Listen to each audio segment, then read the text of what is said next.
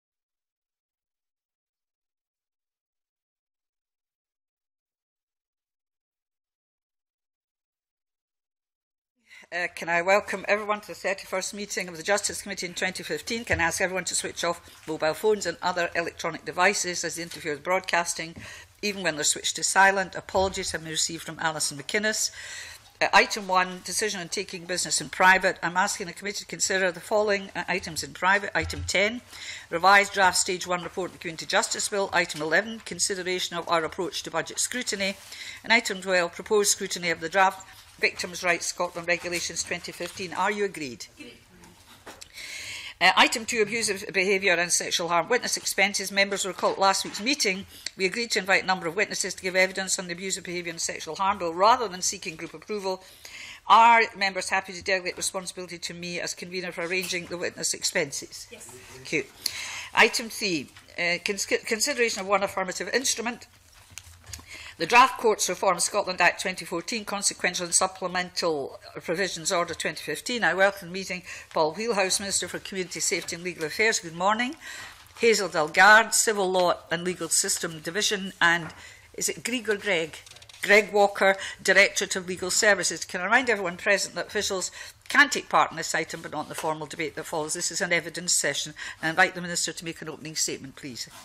Thank you, Convener. Um, the, the order under consideration today makes consequential amendments to primary and secondary legislation in support of the commencement of the civil jurisdiction and competence of the Sheriff Appeal Court.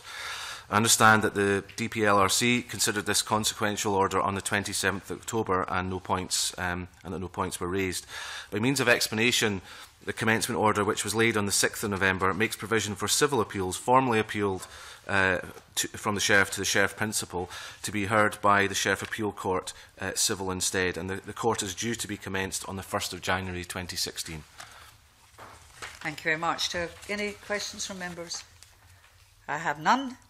Um, and I go straight on uh, to item four, which is the formal debate on the motion to approve the instrument. I invite Minister to move motion S4M 14683 the Justice Committee recommends. Formally moved, Convener? Uh, Just, just Yes, well, just just for the record, that the draft court just makes sure you're formally moving the correct order. I could switch it and catch it out. Correct that the draft Courts Reform Scotland Act 2014 consequential and supplemental provisions order 2015 be approved. Do I take it no members wish to speak in any debate in this motion? Neither does the minister wish to respond because nobody said anything. Can I put the question to the committee? The question is that motion S4M1463 be agreed to. Are we all agreed? As you're aware, we are required to report on all affirmative instruments.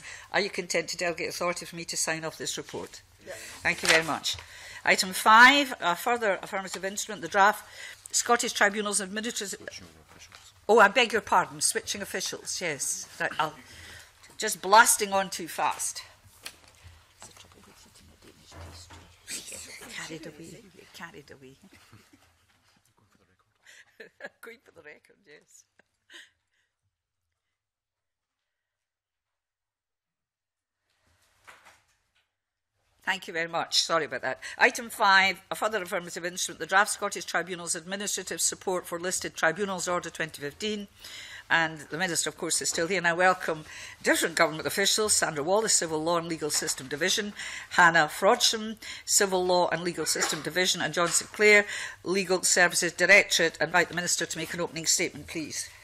Thank you, Convener. I, I have two draft instruments before you today and would ask that the committee recommend that Parliament approve them. Both these instruments are technical in nature and do not alter how either of the tribunals in question operate. By way of background, I've provided you with a paper. I apologise, it was reasonably uh, short notice, but the paper which gives a brief overview of the Tribunals Scotland Act 2014 and a note of the various instruments that will be coming before you in the near future, including the two before you today. As the paper highlights, the Tribunals Act uh, creates a simplified and coherent structure for tribunals in Scotland. The Act creates two tribunals, the first-tier tribunal for Scotland, which will make decisions at first instance and the upper tribunal for Scotland, which primarily will decide appeals from the first tier. The two tribunals are known collectively as the Scottish tribunals. The functions of existing devolved tribunals will transfer into the Scottish tribunals in a phased process, starting with the private rented housing panel and homeowner housing panel and their respective committees in September next year. The full list of tribunals, the functions of which may transfer in, are listed in Schedule 1 of the Tribunals Act. Uh, I will now outline why each of these instruments is necessary. Firstly, the, uh, the Scottish Tribunals Listed Tribunals Regulation 2015. For reasons I'll come to in a moment, it's necessary to add to the listed tribunals in Schedule 1 of the Act references to the private rented housing panel and the homeowner housing panel. For ease, I will refer to them from now on as PRHP and HOHP. Currently, Schedule 1 of the Act only lists... The well, for my, myself ahead, either, yes, con convener, uh, currently Schedule 1 of the Act um, only lists the Private Rented Housing Committee and the Homeowner Housing Committee, which I will call the PRHC and the HOHC. So we can see how this is going to go. Um, the PRHP and the PRHC were created by the Housing Scotland Act 2006. The PRHC, which is a committee drawn from the members of the PRHP, uh, deals with tenant complaints regarding repairing problems. The Property Factors Scotland Act 2011 renames the PRHP and the PRHC as the HOHP and the HOHC when dealing with complaints from homeowners regarding a property factor. Currently, both of the relevant housing acts confer the functions of the tribunals directly upon the committees rather than the panels, and this explains why the committees are listed in the Act rather than the panels. However, Section 35 of the Private Rented Housing Scotland Act 2011 amends the Housing Scotland Act 2006 to allow a private sector landlord to apply to the PRHP as opposed to the PRHC for help in exercising rights of entry into a property. Um, this but I feel it coming on. I share your pain, convener. um, this section of the 2011 Act is about to be commenced. The Private Rented Housing Panel, uh, if will give it its long name, Landlords Applications Scotland Regulations 2015, is currently being considered by the Infrastructure and Capital Investment Committee and subject to parliamentary approval will come into force on the 1st of December of this year. As a result of the commencement of Section 35, functions will be conferred directly on the PRHP rather than the committee. It is therefore necessary to amend Schedule 1 of the Tribunals Act to include the PRHP to enable the functions of the panel to transfer in to the Scottish Tribunals along with those of the committee, which, as I mentioned, is already listed in the Tribunals Act. As the HOHP is the PRHP, albeit in another guise, A similar amendment is also necessary to include the HOHP. In terms of the, and uh, the official report, be glad I'll pass my notes to them after the end of this session. In terms of the second instrument before you, uh, namely the Scottish Tribunal's Administrative Support for Listed Tribunals Order 2015, for the, for the reasons outlined above, it is also necessary to amend the Courts Reform Act 2014, which lists in Schedule 4 the tribunals that the Scottish Courts and Tribunal Service may provide administrative support uh, to. That making this instrument will allow SCTS, or Scottish Courts and Tribunal Service, to continue to provide administrative support for the two panels as well as the two committees. Uh, we undertook a 12-week consultation on these instruments. This was combined with a consultation on the proposed structure of the first-tier tribunal, And as you'll see from the paper, I, I hope uh, that I have provided, I plan to bring forward an instrument on that matter for consideration at a later date. There were nine responses from individuals and organisations, including the Law Society of Scotland and the Scottish Tribunals and Administrative Justice Advisory Committee. All the responses, responses focused on the structure of the first, tribunal, first tier tribunal only. There were no responses in relation to either the policy or the drafting of these instruments. Uh, in conclusion, these technical instruments are required to allow SCTS e to continue to provide administration for the PRHP and the HOHP when Section 35 is commenced on the 1st of December of this year. Uh, and they will also ensure that the functions of the panels can transfer into the Scottish tribunals as planned in September 2016. Thank you, Convener, for your patience and uh,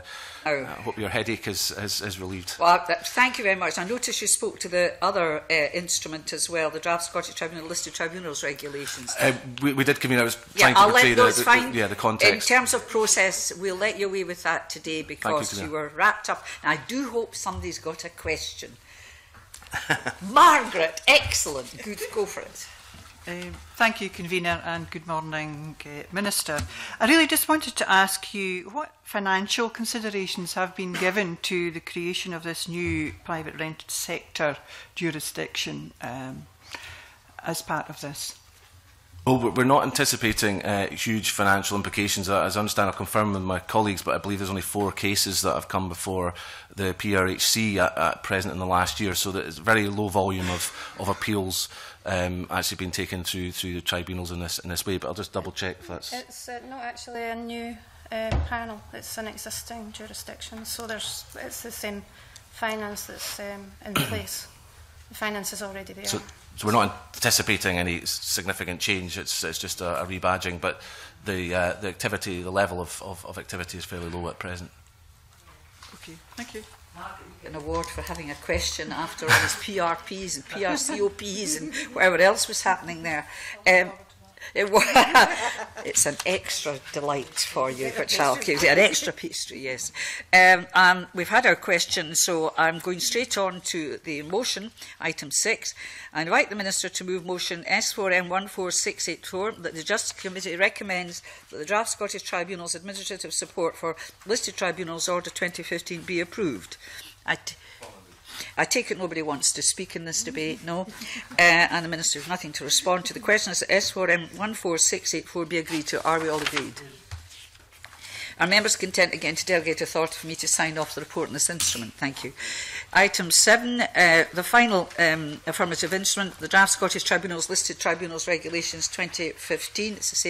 officials, so you don't need to change. You don't need to make an opening statement, you've already made it. Minister, does anybody have any questions?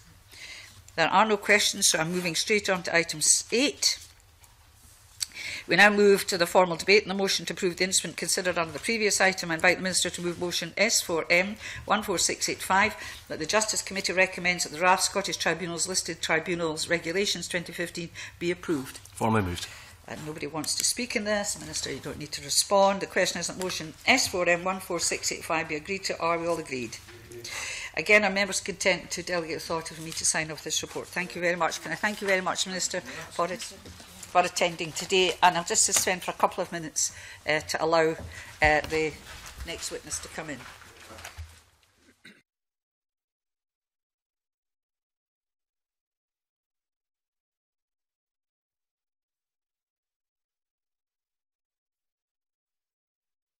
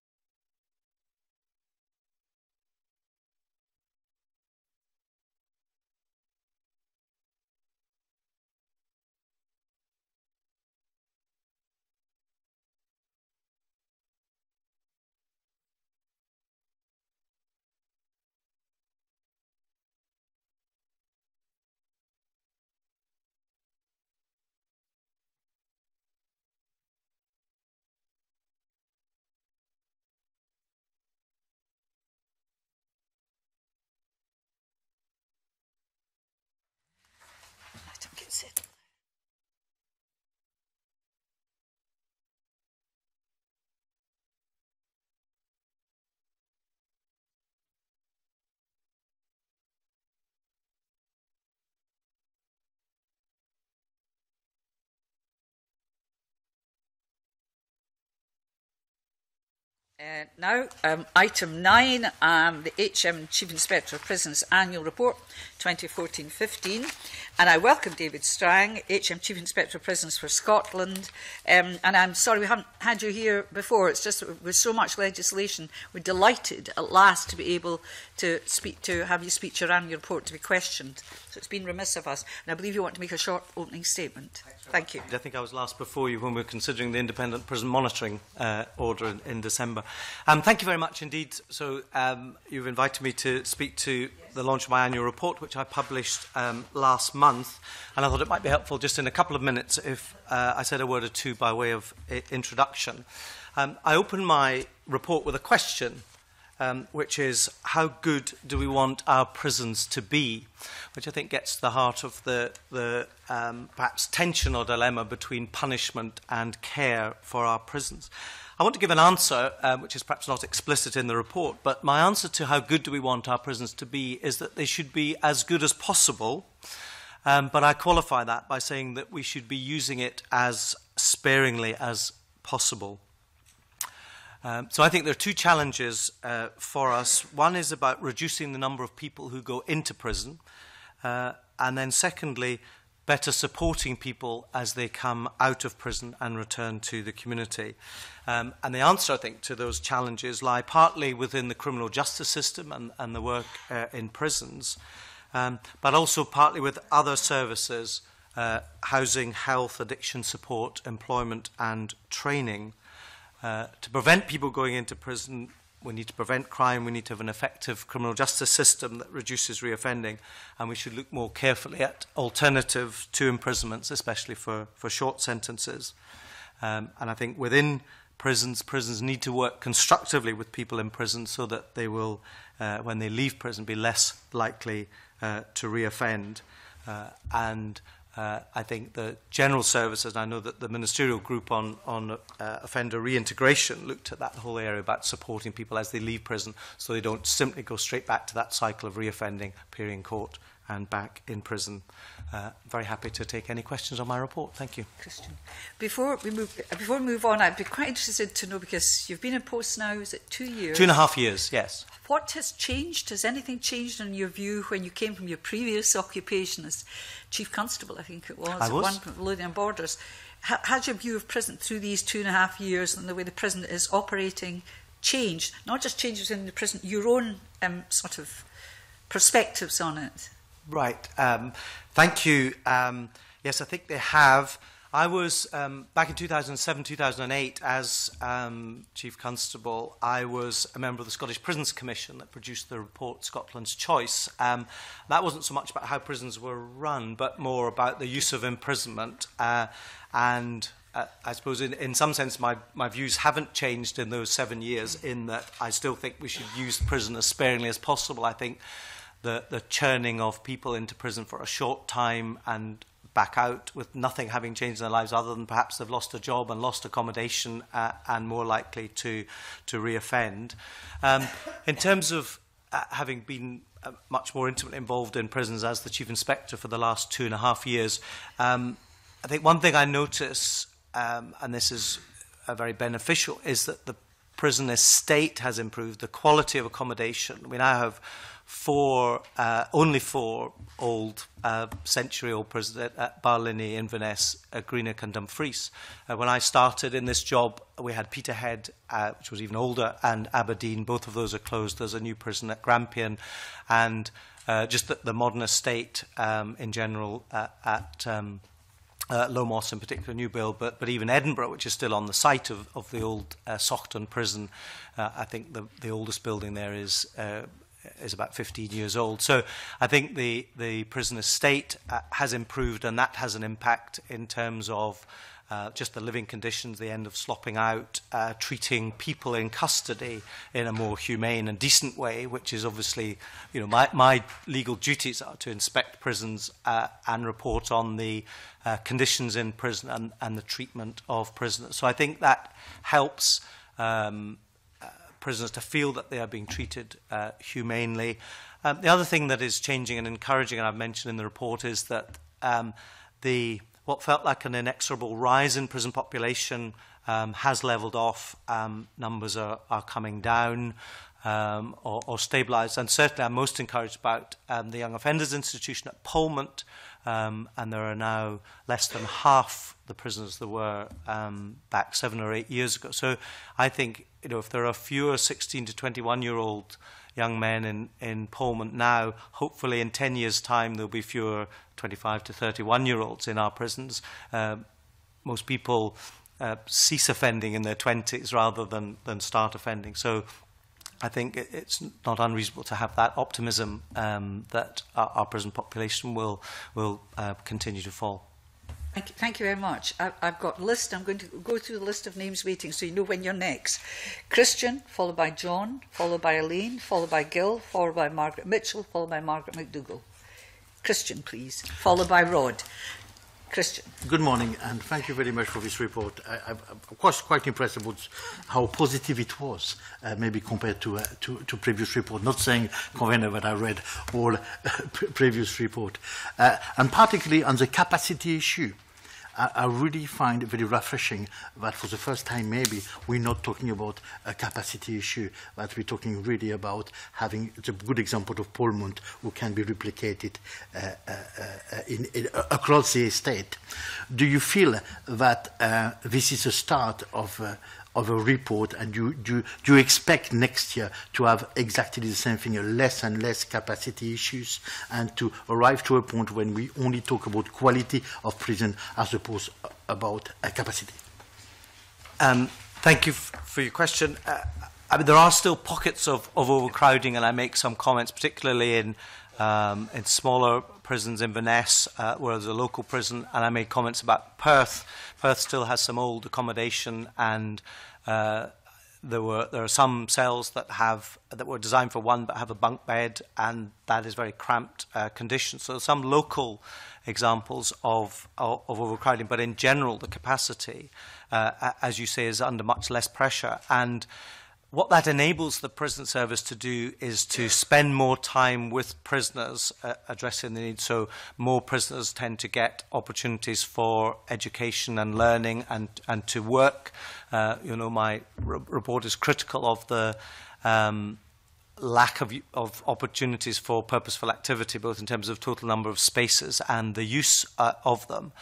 And certainly, um, I know um, uh, from speaking to people who, who were around 10 years ago that when you know, Barlini had three or 400 more uh, men in it than they have now, then all the effort and capacity is taken up with, with just dealing with um, making sure that um, prisoners have a meal, that they can get to, to health appointments and so on. And, and there wasn't capacity for, for doing more constructive things. Um, I mean, the difficulty for the prison services, of course, they don't control the the number of people coming in. And so, you know, while the optimist in me would say, well, I hope that that uh, continues, obviously the, the, the factors which influence how many people come into prison are about sentencing and about um, crime rates and, and police detections and so on. But I, but I um,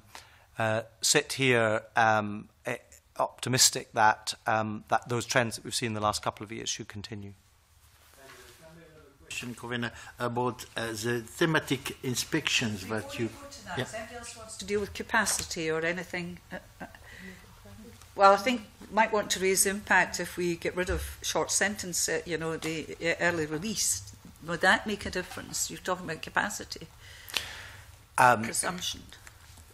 Yes, the the, the um, there's two things. There's getting rid of short sentences, which may alleviate that, but there's also preventing, uh, you know, abolishing early release. How is that going? These two things going to impact on your capacity in, in prisons? Or yes, in, in in different ways. So yes. the the uh, presumption against early uh, automatic yes. uh, release yes. will have an impact. I don't have the figures, but that will result in people being detained for longer, so, so the numbers being higher. Um, but I think the it, it's particularly the the kind of processing of short-term prisoners who come in um, for six weeks, eight weeks, three months that um, that takes up a lot of um, energy and effort and distracts from working with uh, with prisoners. So, um, uh, in terms of of the the short term, uh, the number of short term prisoners, if there's a presumption against uh, people being sent to prison for, for shorter sentences, um, then that will reduce the number of people coming in and out of prison. Um, but it, but in terms of um, capacity, um, I think the numbers are quite small that, that the um, abolition of, of automatic early release. I mean, there's still early release, and it's more that it's it's not unconditional and it's not automatic. So it, there's a judgment about it, yes. and it is. Um, because it's not unconditional, it, it'll be on license, so there'll be better supervision. So in in the longer term,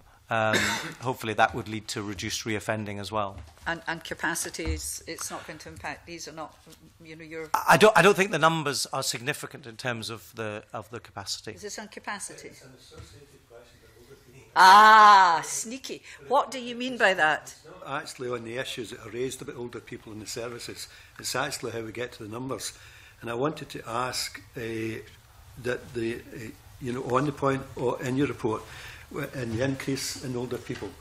Is, the, is this an increase in real terms or is this in, on the percentage within the establishment? Because you, you know it in, in your address that the reduction in number of young people. So I'm wondering if it's effectively the same number of elder, uh, older people It's just that the percentage is actually yeah. Yeah, uh, uh, and the answer is that it would be both. And, but my point is that it's an absolute number. So we are seeing um, more more older men in prison. I, I think at,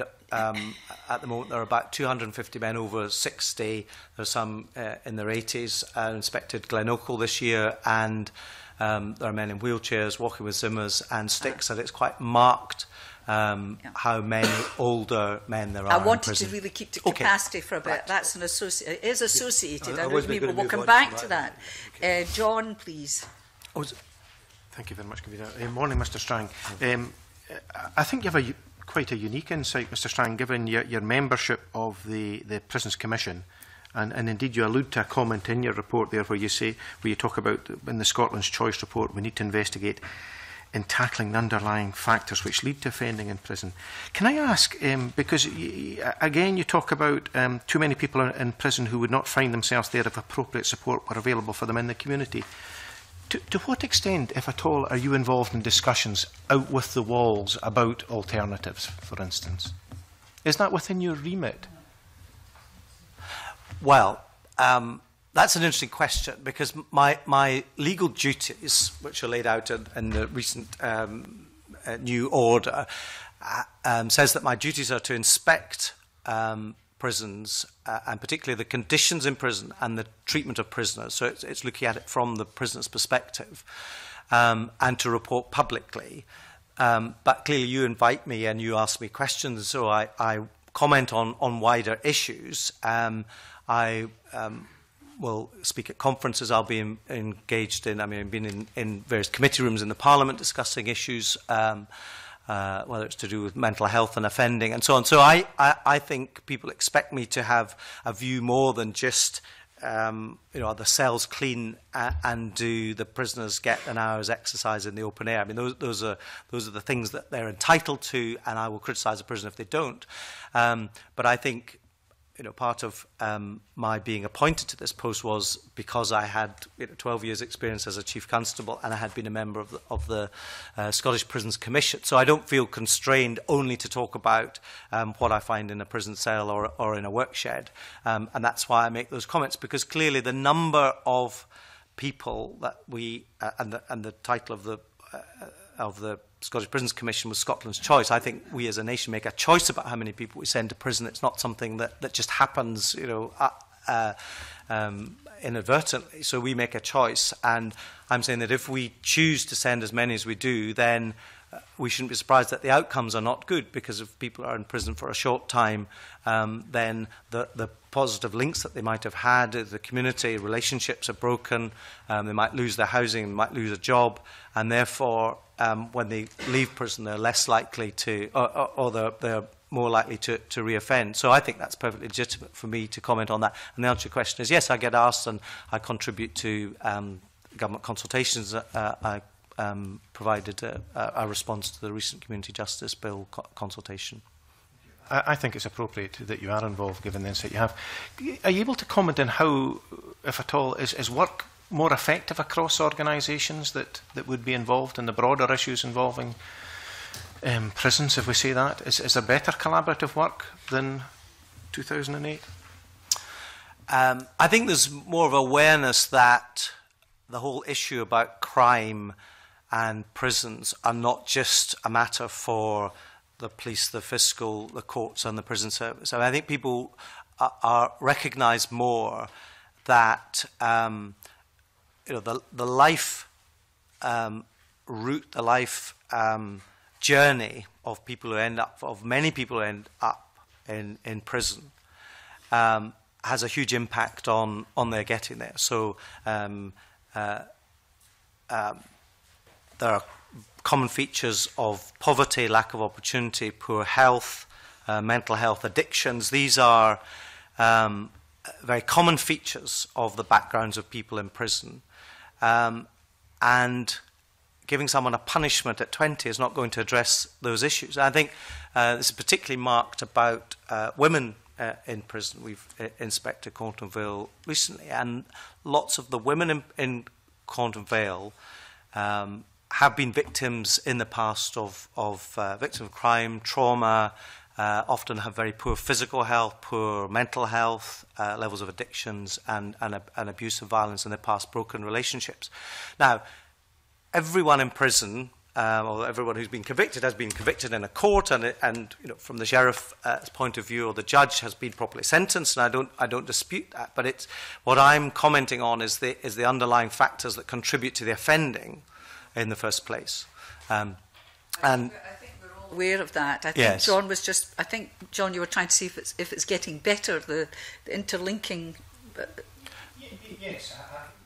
We, we, we hear about interagency work and we yes. hear about partnerships is, a, is the present phrase and, and it's just if you you know, given the, the range of time that you've been involved, if you, if you, if you think we're seeing that bearing fruit, that there there is a, a more yes, I think, I think there is. I mean, I see the prison service being more engaged with other partner organisations. There are public social partnerships like the Shine Mentor Scheme that that um, uh, out on New Roots, uh, um, which is Turning Point Scotland. But but what they do is they uh, engage with prisoners maybe six weeks before release and then they'll meet them on the day of release uh -huh. and, and, and support them. So I think there is more.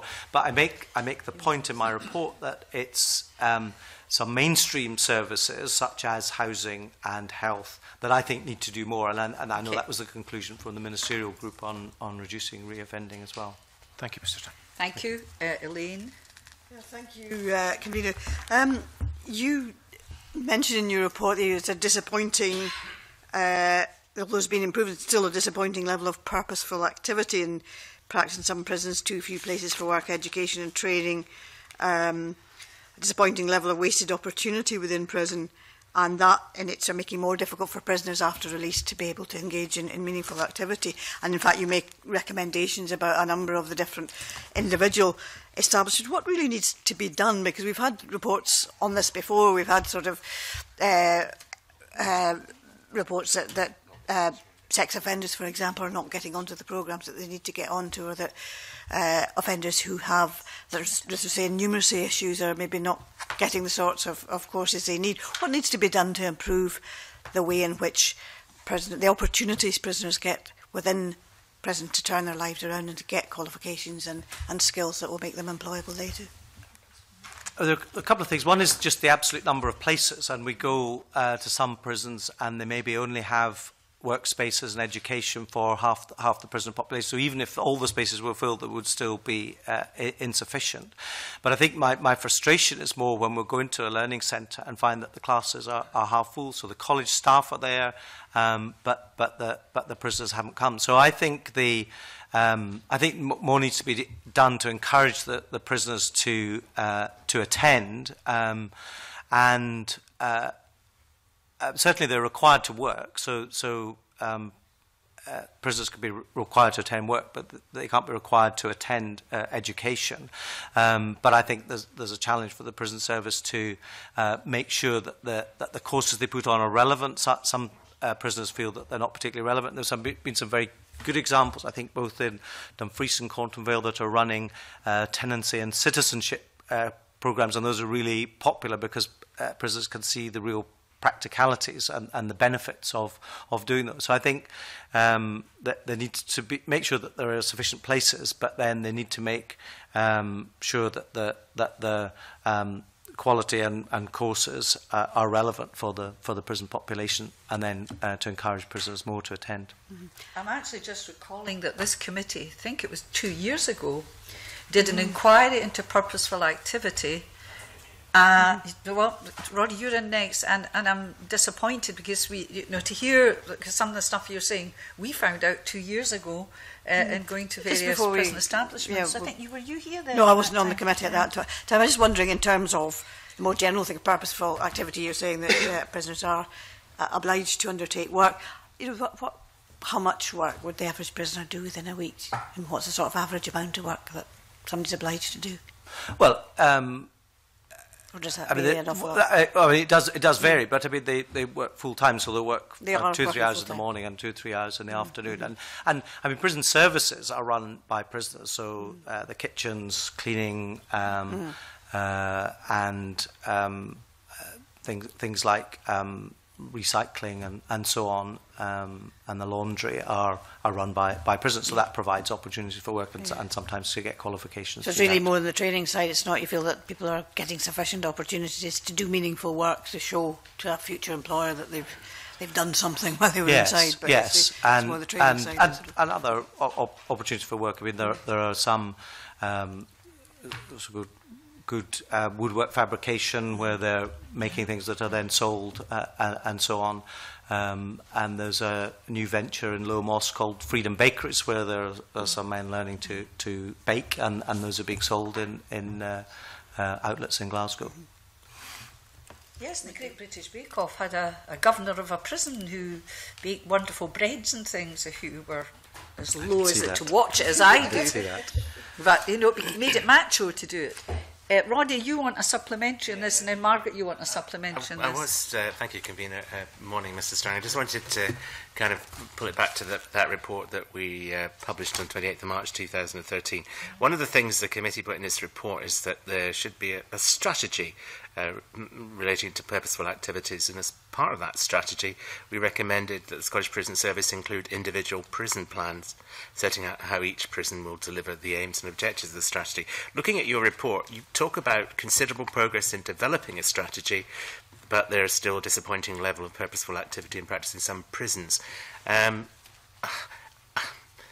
to what extent, I mean, have, have you seen anything resembling kind of an individual prison plan? And uh, obviously, I visited Perth Prison as part of this inquiry, and I uh, looked at your report on Perth, and it just talks about kind of maximizing uh, purposeful activity. It doesn't really give me a clue as to what might be happening in practice. And, and, and would your job be easier if there was a kind of an individual prison plan that you could refer against as to what should be happening? Uh, to be fair to the Scottish prison service, in response to your report, they have developed a strategy for purposeful activity, and there is uh, a great deal of work um, going on, and there's a lot of emphasis on preparation for um, release and through care, linking in, uh, as was answering uh, Mr. Finney's question about um, uh, linking in with agencies uh, outside. So they've taken a, a, a I would say, commendably broad view of uh, purposeful activity. Um, so there is a strategy. I suppose um, uh, one of my observations about prisons in Scotland is that there, there um, is often inconsistency. So I'll find pockets of good practice in one place that, that isn't picked up and, and uh, implemented elsewhere. Um, so I think I think it's fair to say that that the prison service have made uh, progress with their purposeful activities, certainly have a strategy. And I think what I'm beginning to see and hoping to see more of is the implementation of that um, strategy at a, at a local level in the, in the 15 prisons across Scotland.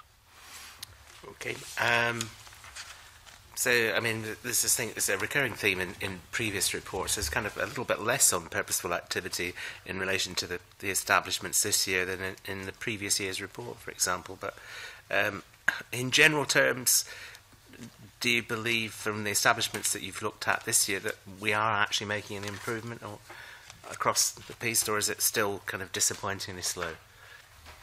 Um, I think, to be fair, they are they're making progress, and I think I'm trying to encourage them to make uh, more progress uh, and and to move that on. So I'd say there's still um, scope for improving that, but but it but it is better, I think, than it was two years ago. And one of the other matters that we referred to in our report was uh, kind of purposeful, purposeful activity and short-term prisoners didn't seem to go together. Um, any comments on that? Still an issue from your inspections that the short-term prisoners in particular were not engaging in purposeful activity? Um, yes, yeah, so and it, it, it's difficult. I mean, someone needs to learn a skill and um, if they're only in for a very short time, it's difficult for them to um, to be accommodated in in some of those workshops and uh, and so on. Uh, and I think also in terms of motivation, a lot of short-term prisoners are, are thinking, well, I've only to do four weeks and then I'm out, so that there's not the commitment that longer-term prisoners have to making a more constructive use of their time. Okay, thank you.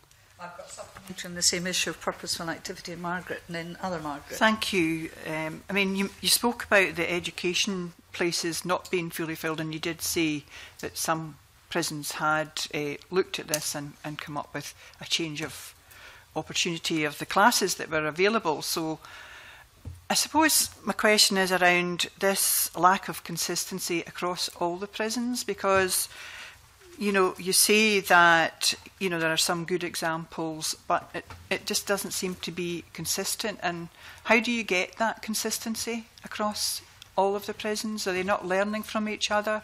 That, you know, what works in one place, well, I can see it may not work for all prisoners, but surely there should be a consistency because purposeful activity, I presume that's the new PC for rehabilitation because I thought that was no, the whole. No? no purpose activity was so that you just weren't sitting in your cell. And quite a lot was to do with what you're touching on, which was the literacy and numeracy of prisoners, yeah. which was very low. Uh -huh. And we were quite shocked in that one about the education provision. It was yeah. sort of old fashioned in some places, sitting at a desk trying to, which was not the way that some yeah. people would do it. So no, it wasn't very broad. Uh -huh. But to be incarcerated, um, one of the reasons is to be rehabilitated and to, you know, they've got that opportunity. And certainly you, you mention in your report about the, the wasted opportunity. Um, so how do you get that consistency then? What can be done to improve that? I mean, there's some good examples of, you know, rather than just learning in a classroom where uh, perhaps in one of the, the, the, the work sheds um, that the college staff will be engaged in, in some of the teaching, and, and so it's more practical, which, which often is, um, uh, is uh, well received by, by the prisoners are more likely to engage with. Um, prisons are very different. I mean, there are some small local prisons. Obviously, there are some that are women only, young offenders only. Um, I mean, what I try and do through my reporting is to identify good practice uh, and to encourage those to be um, taken up uh, elsewhere. I think um, clearly governors are allowed some local discretion, and particularly if they're linking in with a, with a local organisation that might be uh, available in, in one particular place but, but not, might not be available elsewhere. Um, so there are some legitimate reasons, I think, why, why they might be different. But um, I, I would like to see more consistency of um, – what's available and what's delivered uh, across all the prisons, particularly um, identifying the, the pieces of good practice. I mean, I don't want them all consistently down to the lowest common denominator, obviously. I want them to be um, improving um, what they're doing uh, right across across Scotland. And um, I mean, in terms of when we publish a report, we then follow that up and we'll um, see what progress each prison is making uh, in in terms of uh, implementing the recommendations or, or conclusions from our report. You, mentioned that it's still uh, on purposeful activity. Yes, the regime was the regime for some prisoners was very restricted, um, and I'm assuming that's for uh, purposeful activity. So, what can be done in that case? Is that for specific prisoners who are perhaps not allowed out of their cells or Well, is it particularly where um, perhaps you've got some prisoners on protection because of the offence. If they're um, mm -hmm. being convicted of sexual offences, they can't mix with what are called the mainstream prisoners. So, uh, I, you know, it's quite understandable that they will have access to uh, the gymnasium perhaps at a different time, um, but they won't get as much. And so that's what I was highlighting in my report there. That uh, I mean, I inspect, if you like, on behalf of all the prisoners, and so uh, obviously the majority of, of time within a prison is, is, is geared towards the mainstream, the, the bulk of prisoners.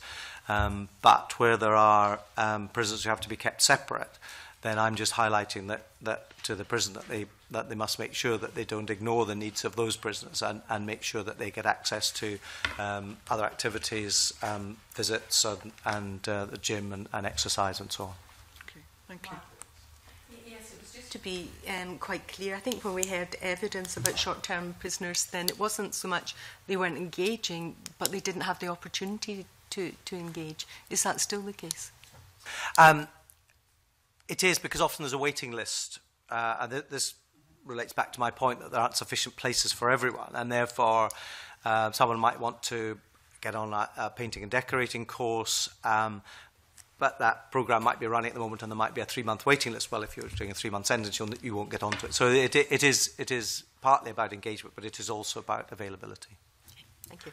I think, uh, I the committee feels. It might be interesting if we've got space to look back at our report two years ago when we did it in purposeful activity and then see how much has changed given what you're saying to us uh, because I know that the numeracy and literacy thing was a, quite an issue for those of us, especially visited the young offenders, and some of it was, you know, Dogs Trust had them with rescue dogs, staffies, I don't know if they still do, and they were they were writing and doing things you would not normally have done because it was engaged in something else. And the same with the bikes, that they were repairing yes. bikes, I know this. But it would be good to go back, I think. Would you recommend, I think, that we go back to that report in the light of what you're telling us and say, well, let's have a wee look back and see what's changed. I, and I think you'll find that, that a lot has changed. I mean, those examples that you've given of the, the pause for progress um, at, at Pullman was, was an example of where I was saying yes. that, the, that the learning staff were working uh, on the on the care for the stray dogs and then the, the recycler bike are, are two are they still good? good examples yes they're good examples of kind of practical skills that young men might be able to use when they leave. Um, and, and and certainly, I mean, in in in the last two years, um, the whole area, the two the two activities blocks in Pullman have been completely refurbished and and made much more fit for purpose. There, and they have a radio station at a couple of prisons, uh, and it's just wasn't those just sorts the of practical; things. it was the fact that they were writing. Yes. They, they, were writing and would not, if they were sitting at a desk no, no, being asked to write, would never have done it. Yes. But because it was part of something they were interested in, they were prepared to write. They were measuring, making things, therefore the numeracy was being expanded, but not at the dry, sitting at a dry desk. Yes. No, Pullman have completely reviewed. I mean, right. they've done, there's, a, there's been a project working with Education Scotland, and the approach is much uh, more attuned to the learning needs of teenagers rather yeah. than a kind of adult okay. um, numeracy and literacy. That might the committee might want to have a consider whether we go back and look at that. I'm going back down my list. Gill, I've, it's moved about a bit because you've all popped in at different times. Of course, it's okay because I'm saying so. no, it's Gill. all right, it's, it's Gill, Rod, Christian, then Margaret McDougall again. So there we are. I've rejigged them. You, uh, you get odd. I've, I've miffed you. I'll put you in after Gil, Margaret. I tell you, you scare me. I, Margaret Mitchell comes after Gil, right? mark Ro, Gil, Margaret Mitchell, Rod, Christian, Margaret McDougall. That's fairly democratic. Gil. Uh, Mr. Stry, I wanted to. When I first came in, I should have said this. Uh, I, I was very impressed with your report and the way it was presented. I found it a very easily uh, read document. And I wanted to talk about uh, Parliament. That you know, it's, there's, there's, uh, you say a lot about that uh, in your report, and particularly about this drop in numbers. That's quite a significant drop, and I wondered what you put that down to. Uh, you know, a drop like that in seven years seems quite, quite, quite remarkable. Um, it is, and it's something that I think is very encouraging. There are I mean, there are a number of different answers. I don't have the, the expert answer on that. I mean, clearly, as I said in a way that the number of people being sentenced to a prison sentence is, is not a matter for the prison service. Um, and I know that um, kind of going back to my old job within within you know the approach to youth offending um something called the whole systems approach which was uh, trying to keep teenagers out of the criminal justice system as long as possible with diversion schemes with uh, trying to pick up um uh, people who are at, at risk of being excluded from school aged sort of 12, 13. So I think there's been a, a, a lot of um, partnership activity um, uh, to try and um, support youngsters who are at risk of going off the rails. And, and so I think we're beginning to see the, the products of um, that, that whole systems approach that certainly the E, Edinburgh Transition Study of, of uh, Leslie McCara and Susan McBee that studied a, a whole generation of, of uh, teenagers uh, in Edinburgh, the evidence there was that, the, that um, to keep them out of the criminal justice system produced the best results uh, uh, as possible. Um, and therefore, um, I think that that approach to dealing with with the uh, teenagers at risk of offending has had an impact. But I think the work, um, I would say that the work being done at Pullmont um, has resulted in fewer people returning. So I think I think you know, it's legitimate to say that some of the work that's done at Pullman, engaging with young people to try and get them, because a lot of them are very disaffected with authority. They don't want, you know, to engage with education, and so it's, you know, it's a it's a double challenge really to to um, get alongside uh, a young man at, at Pullman and to say, look, your life could be different. There are, you know, what skills do you have? What are you interested in? is there something more positive than just going straight out to, to reoffend? And, and certainly in the last two years, I know, because um, I was speaking to the, the, the governor there recently, that the number of, of young men returning into custody has reduced significantly. And, and I think that's um, uh, will be as a product of what they're doing there in Pullmont.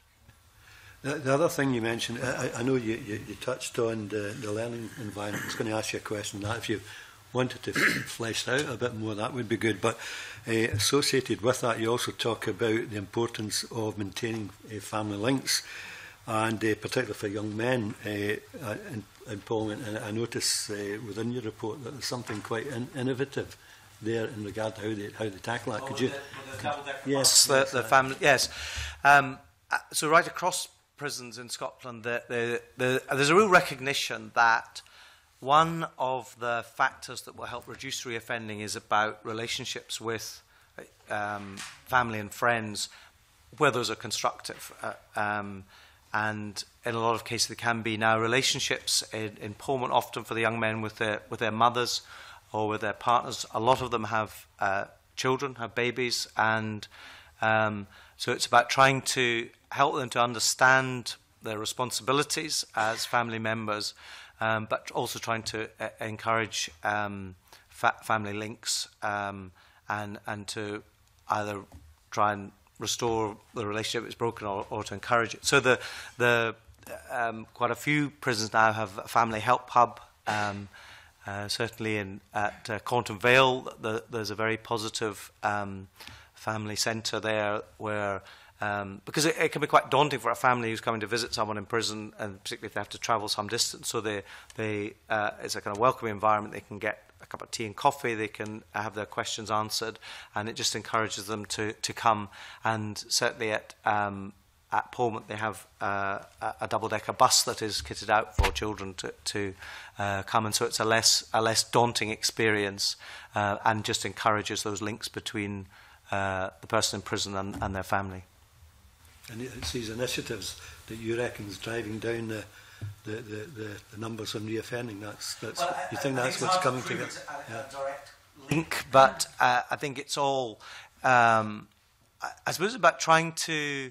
Um, well, it's looking at, at the factors which um, contribute to reducing reoffending. So things like having somewhere to live. I mean, I still see people walk out of prison not knowing where they're going to sleep that night, and and you know, you can just see that that is, is a, contributory tributary factor to reoffending. Having, um, uh, I uh, mean, if people have still got addictions problems, then having health care needs to be in place. Um, if they can have a job, some sort of purposeful activity in, in their life outside prison. But um, supportive family relationships are seen uh, as positive because they can be, um, well, from both sides, from the positive you know, if you can inspire someone to want to, to live as a, as a father or a partner in a positive way, but also it can be uh, sort of reducing the negative so that it stops them going out and, and getting involved in, in crime and violence if, if they know that there's a, a positive family support for them. Okay, thanks very much. Wow. Just as a follow-up to, to um, that particular point about family contact in relation to Shots Prison and the lack of the availability to meet the demand for father and child um, visits. What specifically is, is, is it the timetabling? Is it the actual space in the prison?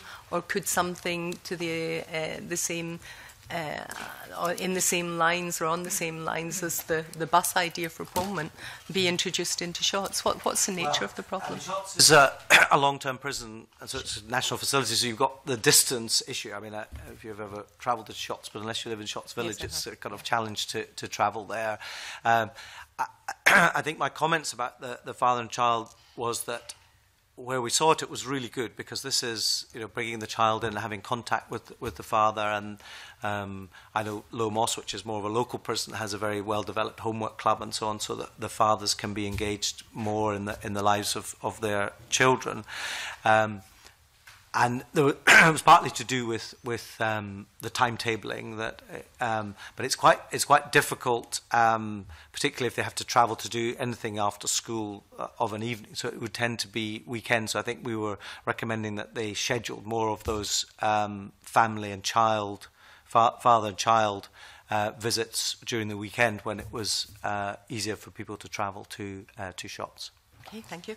Um, you mentioned some excellent examples of support for vulnerable prisoners, in particular um, in addressing needs of mental health care or drug addiction. Uh, could you elaborate a little bit on that? And I noticed earlier in your opening comments, I think it was, you, you mentioned the underlying causes which need to be identified. And I wondered to the extent that adult um, uh, or sexual abuse um, is, is, looked at. It's an issue that's been raised in female prisons. It's also a huge issue in male prisons, which I don't think really has been touched on.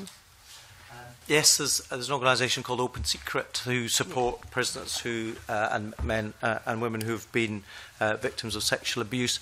Um, I think for people who um, you know, haven't been in prison, one of the most shocking things is seeing the poor health of people there, both physical health, um, but particularly mental health and and addictions. Um, I'm not I'm not obviously saying for everybody, and, and there are lots of you know robust men who are quite healthy um, but have committed crime and are, are rightly in prison.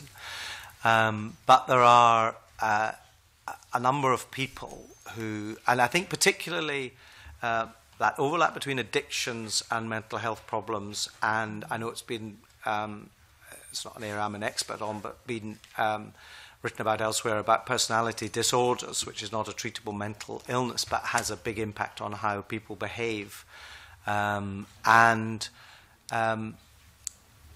so, so there's, you know, there's a sizable population, and um, I suppose what I have been impressed with is uh, the work that's done in the health centres. Uh, so all, all prisons will have a, a multidisciplinary mental health team. Um, and I think um, there's a greater awareness amongst prison officers. So I'm talking about you know, uniformed employees of the Scottish Prison Service of issues of, of mental health and uh, particularly prisoners who are vulnerable and, and li liable to self-harm and uh, potential suicide. Um, so uh, there are uh, so there's specialist medical support, so mental health nurses, psychiatrists in, in prison providing that support, um, and but but that but that in a way just takes place in the in the medical center you know as a as an appointment as a as a clinic perhaps one to one counseling or some sort of a treatment medication um and then there's also what happens where they live. So they, you know, they go to the, the health centre and they see a psychiatrist or a mental health nurse and they get some treatment, but they then return to the wing or the, the hall uh, and in their cell. And that's, I think, where the role of the prison officer, which is looking out for vulnerability. And, and I mean, clearly someone who's very vulnerable will be in, on, um, placed on, on it's called Act to Care, which is their program for vulnerable uh, prisoners, and they might be on hourly observations uh, uh and so on. But Um, what, what, I, what I see and impresses me is the enormous care and effort that both the health staff and, and the, the prison officers uh, invest in trying to support the most vulnerable um, of, of people in prison um, you know, and the big picture is yes, they will have committed offences, and so you know they should be there. But actually, um, I, I would argue this is true when we come on to talk about older people. You know, is being in prison the best place for for where these people are? A lot of them fall through the net um, and somehow don't get picked up by other social services, so they end up in a police cell, in a court, and, and in the prison. Um, and, and so that's really what I meant about being impressed with the support that's provided for vulnerable prisoners an issue of those people that we find in prison who are not a threat to the public but are a threat to themselves and you know whether that's the right place for them. Just still on the addiction side of things, I notice you you cover the new psychotic substances and note there's no test for that and that there's um, a huge prevalence of, of these substances. What recording is there of incidents involving um, these sus, uh, substances? Well, it's difficult don't necessarily know that there have been. I mean, obviously, eh, um, if they're found with it on on them, then then that, that can be recorded and, and set for analysis and so on. But um, the what, what the finding is that, that um, people are suspected of taking them, and then they can be very violent, unpredictable. Um, and I certainly know that um, my counterpart in England and Wales, Nick Hardwick, has, has, is seeing a, a huge increase in the use of um, the, the new psychoactive substances or, or legal highs, uh, uh as they're sometimes known. Um, and there's a, there's a big markup in, in price um, because they're, they're legal outside, but, but um, attractive inside. So there's a sort of 10 to 1 markup. And so they become um, uh, a commodity for bullying and intimidation and violence, um, as well as the, the, the behaviour of the person who's who's taken them. Um, and I suppose I raise it because I think it's a it's a growing phenomenon, um, just as it is you know outside in the community. What happens outside in the community is reflected in, inside a prison, and therefore um, it, it's something I think that I, I would want to flag up as a as a potential risk for the future but what actual recording is there of something that uh, involves a, a, psychotic substance, and and then are we going backwards to look at the, the subject that is the, the, the substance that might be available in prison can be bought and mixed with something else? I mean, how are we trying to address this now that we e-, establish there is a problem? prison has a uh, has a, an operations department and an intelligence unit, and so they will they investigate all those cases where they're found and see you know who their associates are, and and I mean obviously. Um, the security and the perimeter is meant to prevent illegal substances coming in, but um, I mean, creative prisoners and uh, other people will find ways of getting um, substances in. But uh, to answer your question, yes, I mean, they do analysis and they do try and track and um, get, get the intelligence picture and to try and prevent it happening again. So, would something be banned because it's been known to be used not for the purpose that it's said in it in, but for, for something else? Um, yeah, so I think it's, it would be clear if it was found that it, that, that would be banned, and people, so uh, uh, um, someone visiting uh, obviously wouldn't be allowed to, to bring that in if it was found on them. Um, uh, yeah. Education with the prisoners because some of these Um, some of these substances can have horrific effects. I mean, there's yeah. been amputations. No, uh, no, Absolutely, and I think. Um, uh, you know that's a, that's a key part of it is is the education. That's the, that's one of the very frightening things about the use of of um, MPS. I think is partly obviously they don't know what's in the mix. Um, you know, if you're injecting pure heroin, you know what you're injecting. You know what heroin is and what it does to you. But I think some of these new psychoactive substances injected, depending what it's mixed with and so on. So um, part of part of the kind of whole health education one of the our new standards in, in, that we inspect against is how much health promotion is there so um, things like bloodborne viruses uh, hepatitis HIV um, sexual health uh, and use of substances is included in in education uh, in in prison health education programs to explain to me, are you talking about these are packets of things that are passed by the visitor to the prisoner rather than manufactured in situ?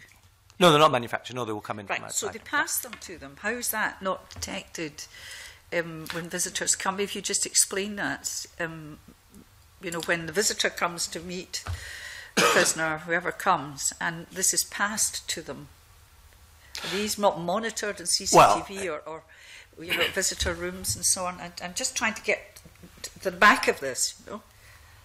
Yes. Um, I mean, all people visiting are, are searched and their bags are searched. Yes. Um, but, um, you know, if you've got something small sewn into your jacket, it might not be found. Okay. Um, and while the visits room is uh, supervised, um, could imagine being able just to pass something at some point. So it's not foolproof. I mean, they, they, they do seriously take that. I mean, there's a, there's a balance because I'm, I would be critical if a prison was too draconian with, with visitors. So, you know, it's a, it's a balance of wanting, you know, going back to our previous conversation about encouraging visitors to come and children and so on. Um, uh, but, I mean, there, there are other ways that um, drugs get into prison, people coming from Understand court. It, but and go on. back to Margaret's point, have, it, have there been any recordings of you know these being discovered, being passed to prisoners? Um, are there any facts behind that? I mean, you've got down here it's behaviour that lets people yes. know something's happened and the prisoner's yes. behaving in a bizarre fashion. But have there been any,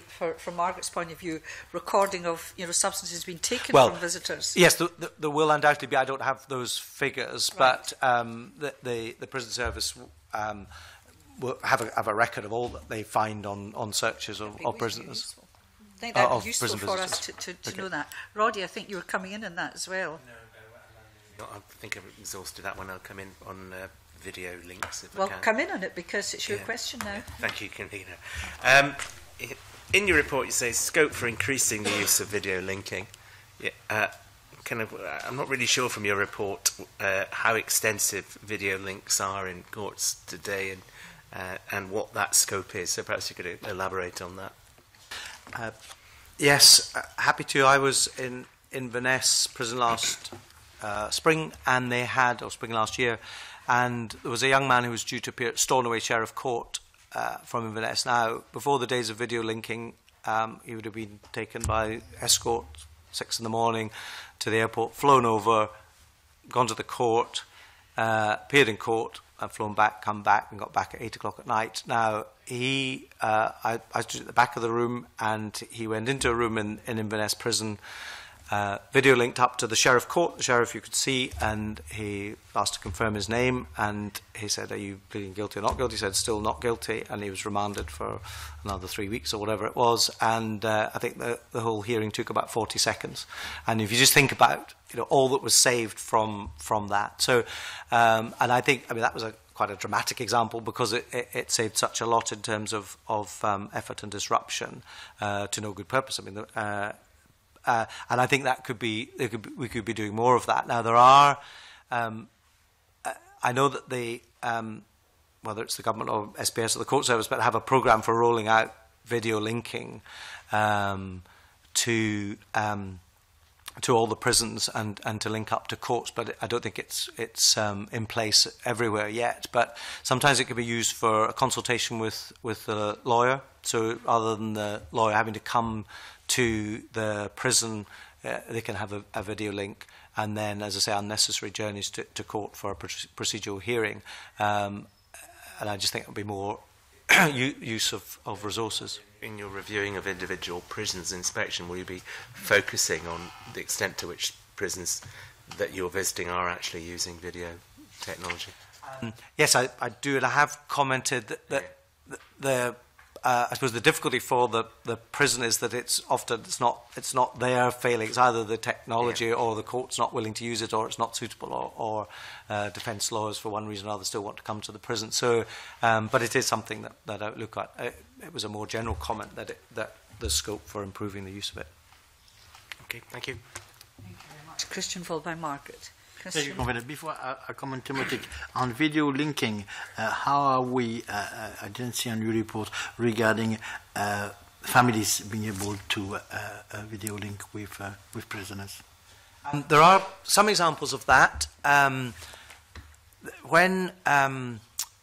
at the time two years ago, when um, Peterhead and Aberdeen closed, and before Grampian opened, the prisoners were moved down to Perth and, and Barlinnie and Shots. And um, there was a, a system set up in Aberdeen at the offices of Apex Scotland where the family could go in there and link in. And so that was successful, and I know that that continues uh, a, a bit.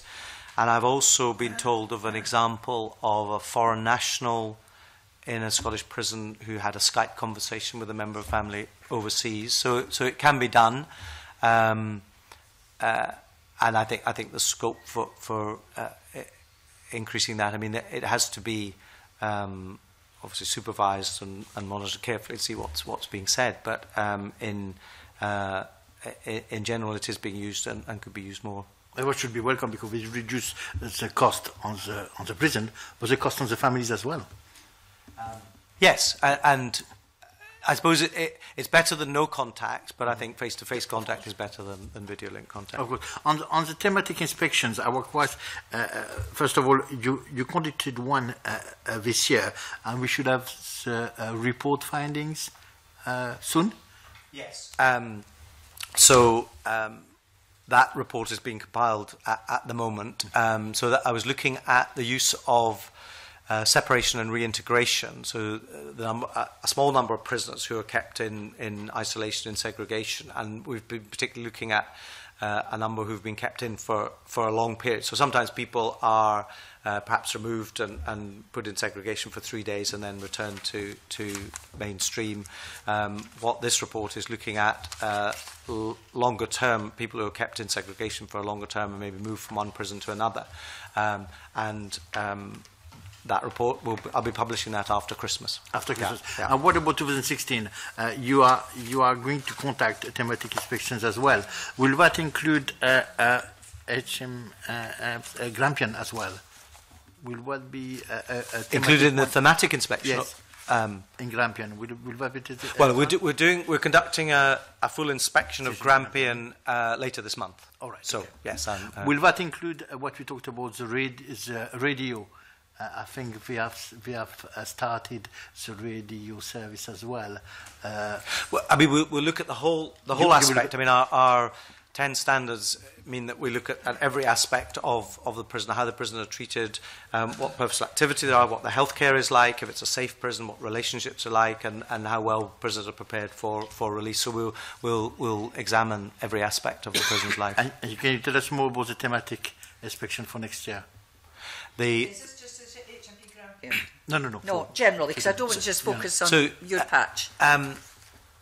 we are going to be conducting a, a thematic inspection next year on the high care needs of older prisoners. So I, I mentioned that and I highlight that in my report that um, it's an increasing challenge for the prison service with um, particularly older uh, men uh, and with you know, physical infirmities as well as um, sort of dementia, Alzheimer's, and so on.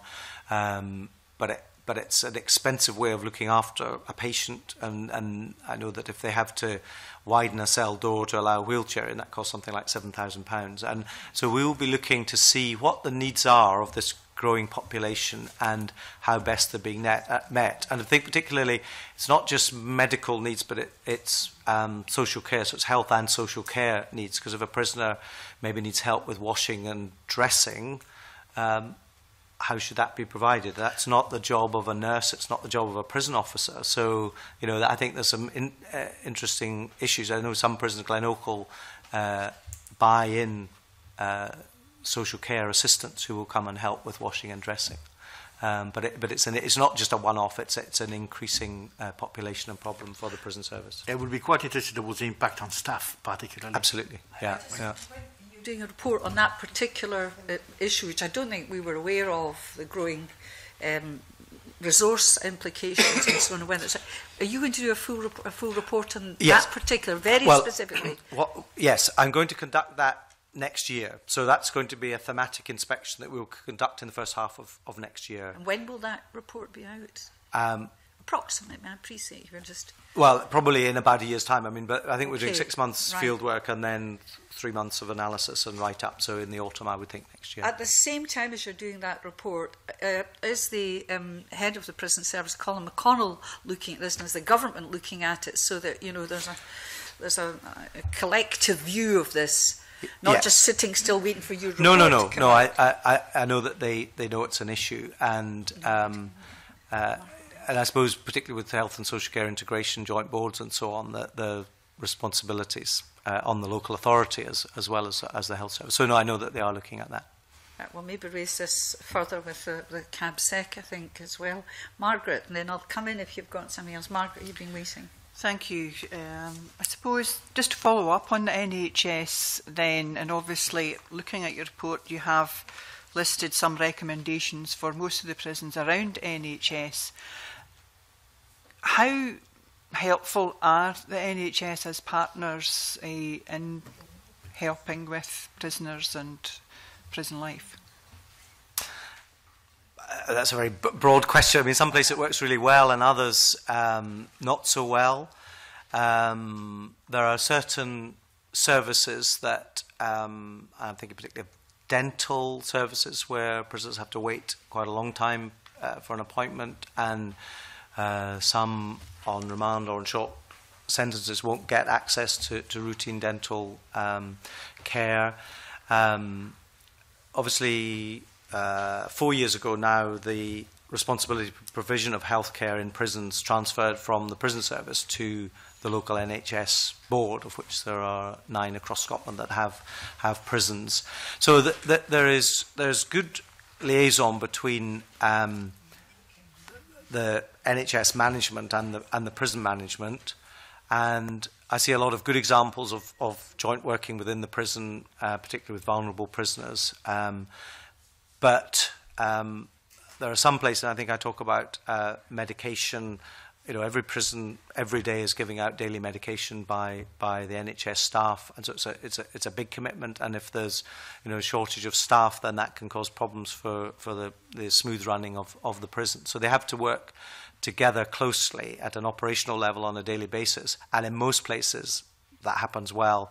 There are some places where um, it's not as smooth as it could be. And I sometimes find you know, one side will blame the other, and the operational staff will say, well, it was the, the, the NHS, and the, and the nurses will say, well, that was the operational staff. So where I make a recommendation that they need to sort out some of those some of those problems. But you know, health is is health care provision is a big part of prison life. And you speak to, to prisoners, you know, they'll complain about the, the food and their visits and healthcare. I mean, those are the sort of three primary things that people will complain about on healthcare, I mean, mental health is a particular issue within the, the prison population. So, how best should that be being delivered, and is it being delivered?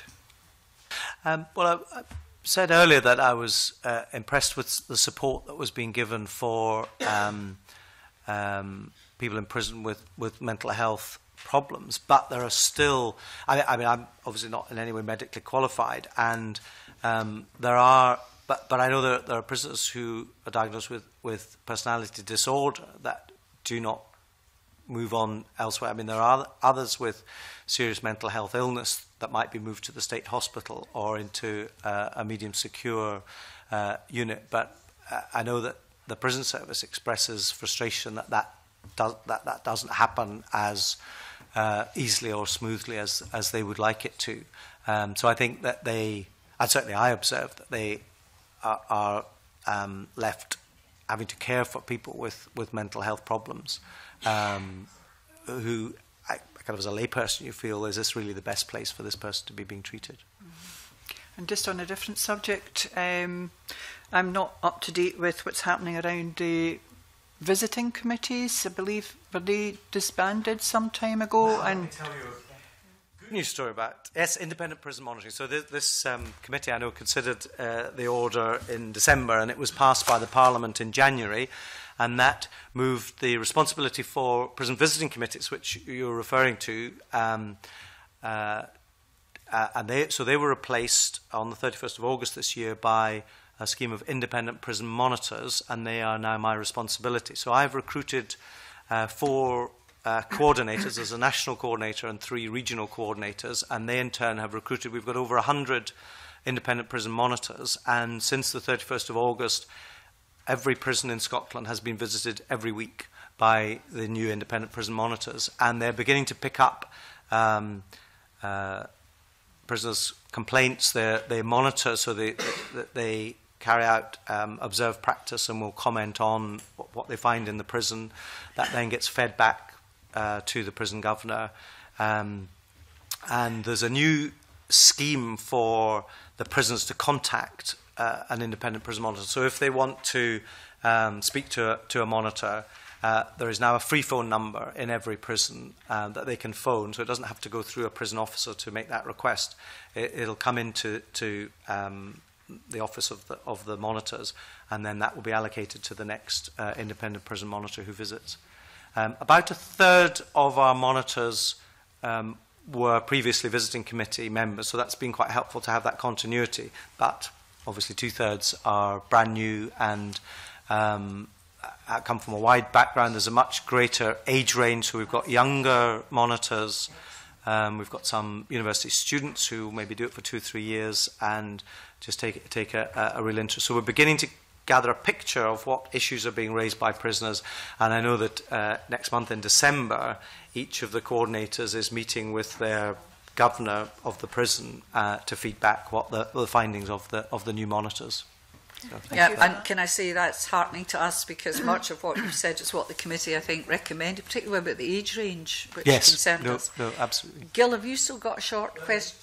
Uh, when it, with regards to older people in prison with uh, you know, health needs, chronic health needs, by the sound of what you said, uh, Mr Sang, does the par parole board get involved in, in, in issues like that? Do they look at that in some fashion with some discretion? Have, have they any discretion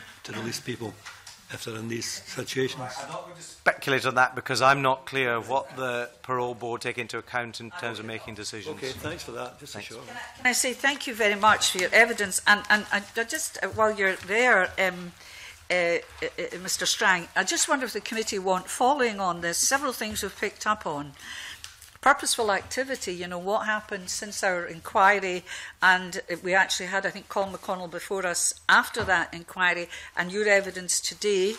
Uh, we've also raised the issue of particularly of older prisoners and also the issue of psychoactive substances and the stats perhaps that they do have to hand. And I'm just going to suggest to the committee, do you want me to write these three particular bullet points, first of all, to Colin McConnell on behalf of the committee, and perhaps see if we could have a minute, if we've got a gap, uh, he could answer in writing, but also have a gap to have a minute at some point in the new year to deal, just to keep this going. Um, what do you feel about that?